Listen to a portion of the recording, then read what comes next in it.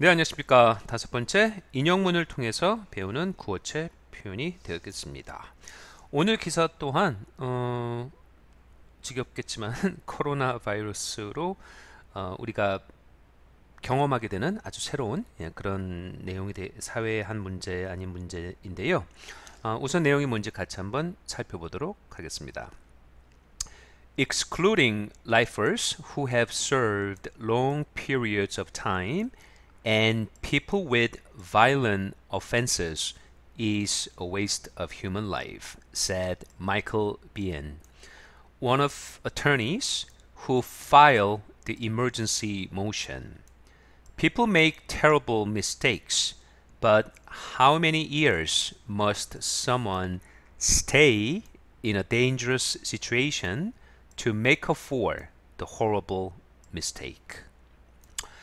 어, 이 변호사의 얘기고요. 어, 이 사람은 지금 감옥에 있는 예, 그런 재소자들의 어떤 최소한의 인권 예, 그거에 대해서 얘기를 하고 있습니다. 같이 한번 단어 살펴볼게요.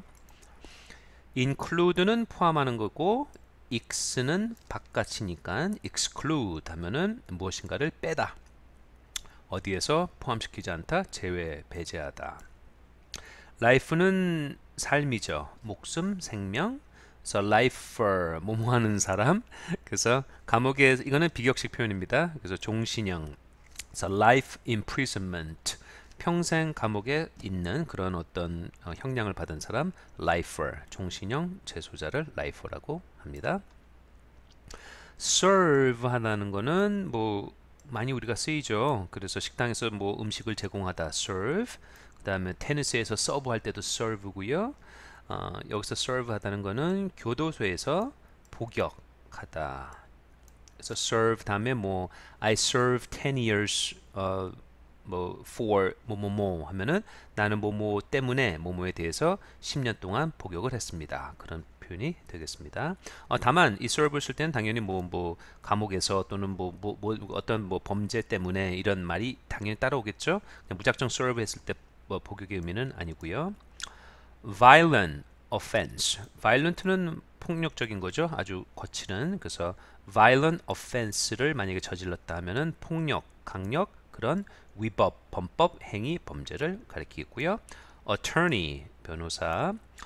motion은 뭐 어떤 움직임 뭐 그런 게 아니죠. 여기서 motion 위에서 내용은 어, 뭐 긴급 발의 그래서 어떠한 법안에 되기 전에 이러한 이러한 어떤 것을 한번 제안을 하니 한번 고려해 보십시오 하고 하는 거 그게 모션이 되겠습니다.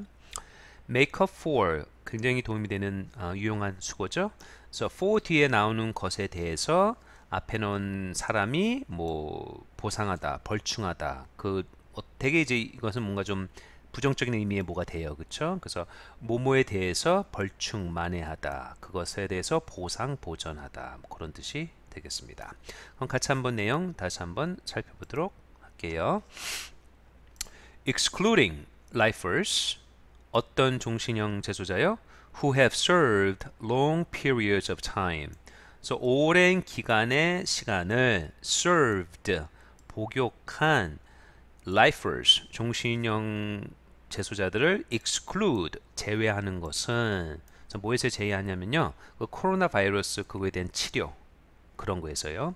and people with violent offenses. 그래서 exclude A and B가 되겠습니다. 그래서 exclude lifer하고 사람들, 어떤 사람들 with violent offenses. 그러니까는 좀 강력 그런 범죄를 저지른 사람들.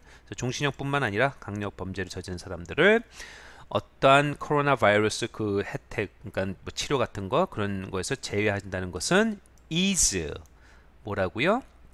A waste of human life. 어, 인간의 생명을 버리는 것이다. 라고 표현했습니다. 누가요? 이 마이클이라는 어, 변호사고요.